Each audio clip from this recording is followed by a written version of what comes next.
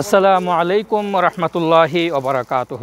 সুধী দর্শক মণ্ডলী, আমি এখন অবস্থান করছি মিশরের তুরে সিনাই এলাকায়, সেন্ট ক্যাথরিন এলাকা। এই এলাকাটির নাম সেন্ট ক্যাথরিন এলাকা। এখানে আমরা যেই স্থানে দাঁড়িয়ে আছি, এটাকে বলা হয় সালে আলাইহিস সালামের আবাদত ঘর।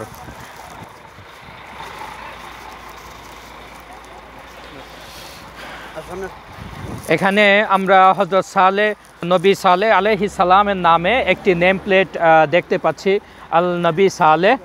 সামনেই ওনারই একটি ঘর রয়েছে। অর্থাৎ ঘর বলতে এখানে কথিত আছে যে, নবী সালে আলহি সালাম যখন এই পথ দিয়ে যাচ্ছিলেন, তখন তিনি এই ঘরে কিছুদিন অবস্থান করেন, এখানে আবাদত করেন।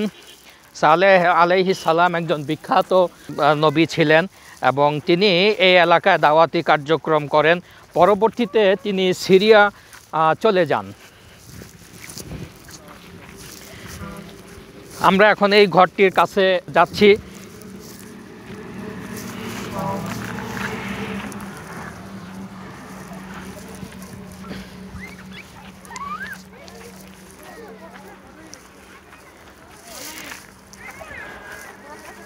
এই ঘরটি সেই আমলের, অর্থাৎ হাজার হাজার বছর আগের সেই ঘর, ঘরের স্থান। এটি আপনারা দেখছেন?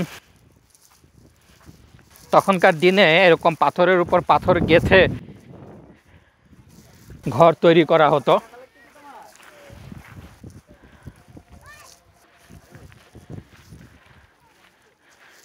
যতদূর জানা যায়, সালে আলহিস সালাম বর্তমানে সিরিয়ায় বড় জামে মসজিদের পাশে তিনি শায়িত আছেন। তবে এখানে বিভিন্ন কবর রয়েছে। এটি একটি বড় একটি কবরস্থান। কিন্তু এখানে সালে আলহি সালামের কবর নেই যতটুকু জানা যায়। এখানে অন্যান্য কবর রয়েছে।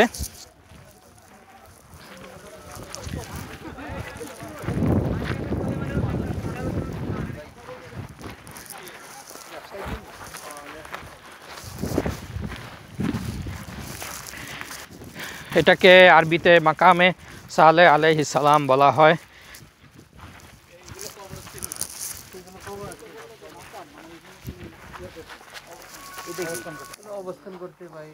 আমি একটা ডকুমেন্টে দেখছি কবর হলো ইরানে।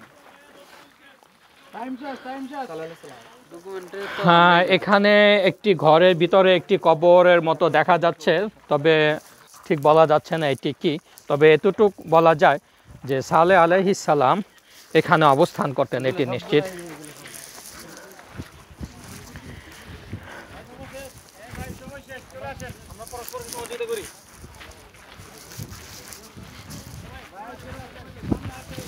এটি তুরে সিনাই পাহাড়ে যাওয়ার কিছু দূর আগেই এই স্থানটি পড়বে। এটাকে মাকামে সালে আলাইহিস সালাম বলা হয়।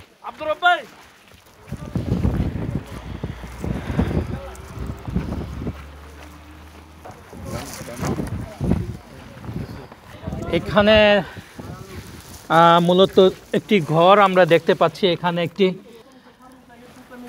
বিছানার মতো রয়েছে, কথিত আছে। এইখানেই সালে আলহি সালাম অবস্থান করতেন। তিনি আবাদত করেছিলেন। সেই স্মৃতিটুকু এখন ধরে রাখা হয়েছে এই স্থানে। আমরা একটি বরকতময় স্থানে এসেছি যে স্থানে একজন নবী অবস্থান করেছেন, আবাদত করেছেন। আমরা সেটি এখন দেখলাম এবং আপনাদেরকে দেখানোর সুযোগ পেলাম।